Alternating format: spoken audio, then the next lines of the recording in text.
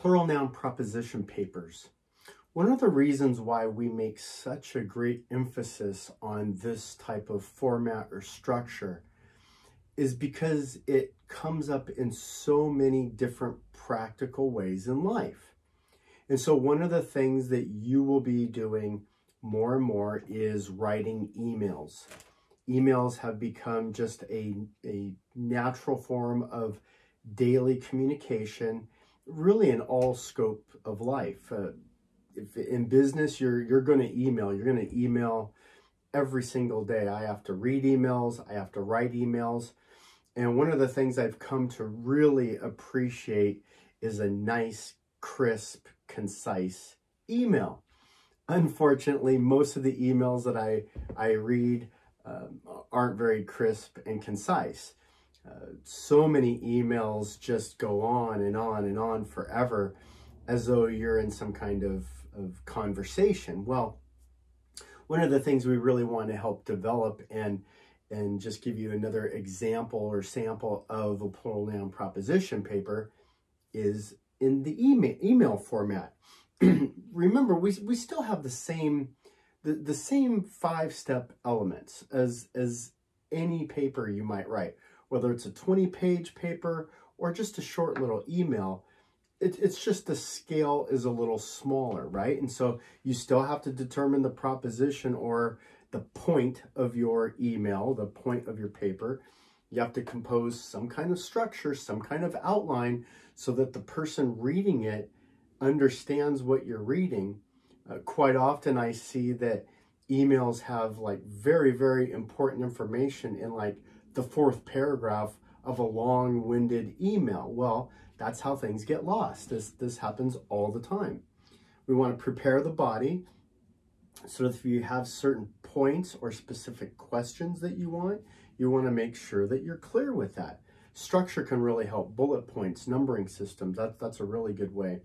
And then write an introduction. You know, you want to go back and take a look at your email and go, mm, does my email really make sense? And so a great introduction uh, is, is, is powerful. And then also uh, your concluding remarks. We want to formulate the conclusion.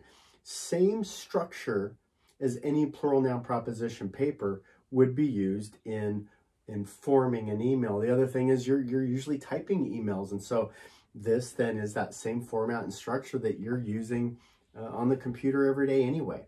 So where do we begin? Again, we begin with our brainstorming.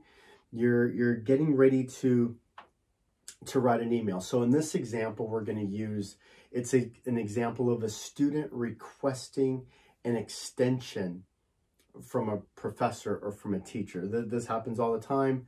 Something happens, a student just needs more time. Usually what takes place, unfortunately, is the student will not turn the paper in and then the day of or the day after go the, to the teacher and say, can I have grace? Can I have an extension? That is not the way to approach it. The way to always approach, uh, whether it's business or, or an extension email, is, is just come out with it right away. And doing it beforehand will give the teacher at least a, um, you know, the, the benefit of the doubt of them thinking, no, this is really an honest uh, excuse or an honest reason and so I'm willing to hear you out. So what do you have to say, right? And so what are your three key points? Why do you need this extension? Um, maybe there's only one reason why you need the, ex the extension, but maybe there's two or three kind of supporting um, elements behind the, the need for the extension. So you want to write those down, right? You want to write down, okay, so what are the reasons why I need an extension? Well, one, in this example, I'm just going to put out a couple. Uh, could be sickness. Uh, one could be out of my control, right? Uh, this was out of my control. Okay, the three reasons why it was out of my control were it was, you know, my parents wouldn't allow me to get on the internet. My, my internet was down. There was an electrical shortage. Uh, the snowstorm, you know, wouldn't allow me to, to have internet access. Uh, another uh, approach might be I need an extension because there's conflicts. look, I, I'm on a traveling baseball team. We're going to be out of town. This happens in college all the time. They, they go out of town for three days. They're going to miss the test. They're going to miss being able to turn things in. And so you need to email uh, that teacher or professor ahead of time so that they know, hey, these are the reasons why I need an extension, right? Um, so in your email, using the same format as our plural noun proposition paper, we, we want to have a simple, direct opening. Direct. I need an extension. Clear. I need a two-day extension.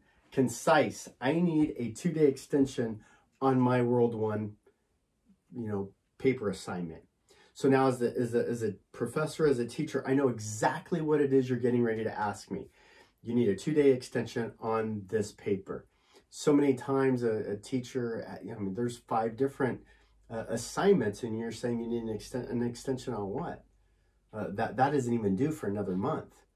Uh, the test is tomorrow. I mean, you know, be specific, right?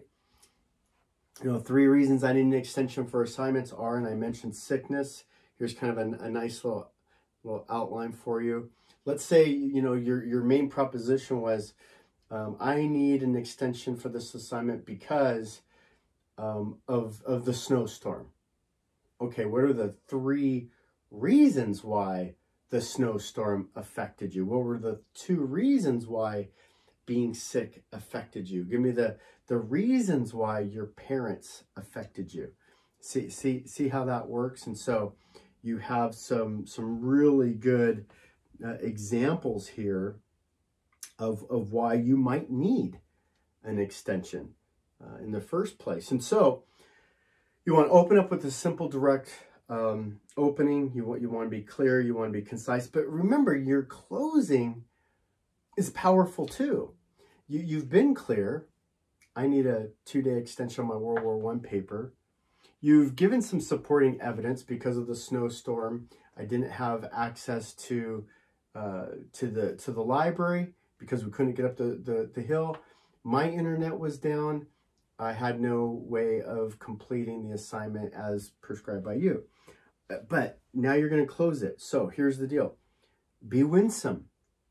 Be persuasive, right? Win the verdict. This is how our plural noun proposition elements come into play because in a plural noun proposition paper, you're trying to win. You're trying to prove a point. You're, you're trying to, to get somebody to kind of change their mind. So as a teacher, you're trying to get me to change my mind so that I give you that extension. So be humble. Uh, let them know, hey, I appreciate you. I appreciate the, the understanding. Be gentle. Use terms like grace, mercy. I need your help. I need your guidance. I need your wisdom, right? Don't, don't just say, I can't do this. You, you need to give me an extension. No, you're you're you're not in charge. Don't don't don't be dogmatic that way. Be be humble. Be thankful. I so appreciate. Thank you so much. Um, maybe there's some some final thoughts. Uh, you know, there's there's there's there's some other things that you uh, forgot to mention. You you can re, um, you can uh, put that in the in your concluding statements as well. Now,